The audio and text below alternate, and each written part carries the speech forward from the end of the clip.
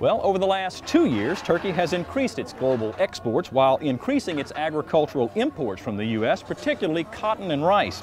This week in Louisiana, Agriculture's Avery Davidson is standing by in the Turkish capital of Ankara to tell us more about it. Avery? Mike, as you've said, Turkey is a major importer of cotton and rice from the United States. Joining me now is the U.S. Ag Counselor from the U.S. Embassy here in Turkey, Clay Hamilton. Clay, First, tell me a little bit about the sort of relationship there is as far as trade goes in agriculture between the U.S. and Turkey.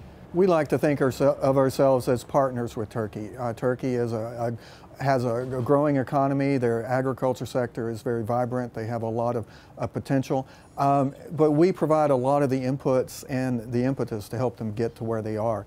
Um, U.S. ag exports have really grown over the past couple of years. Last year we had 2.1 billion. That was a record for us. It was up 40% from the year before.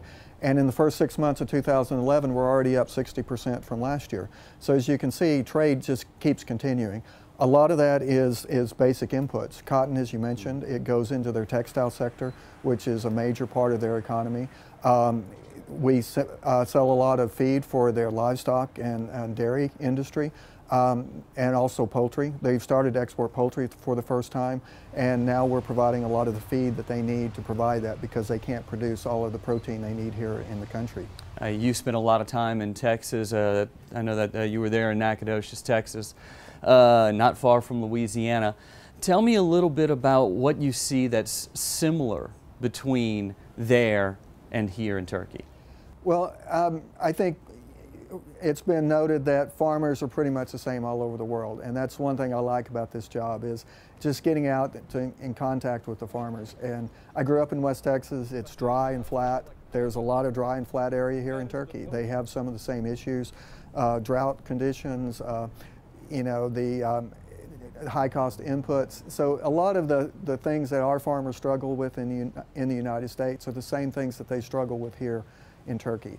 Um, through trade, sometimes we can help resolve some of those, but uh, in general, uh, we just, you know, we do everything we can to get out and understand their system, understand uh, what they're trying to do and what their their constraints are, and then our office puts that information out to U.S. exporters and U.S. trade associations so that they can do a better job of, of trying to reach the market here.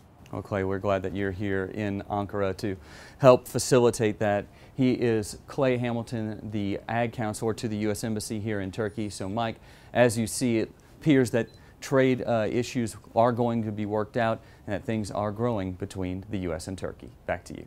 Avery Davidson, thanks. Still to come on This Week in Louisiana Agriculture from Turkey, AJ Sabine will take us into an underground kitchen for a dish that was centuries in the making. And in the Ag Minute, we'll show you the spicy side of the world's largest bazaar. Stay with us.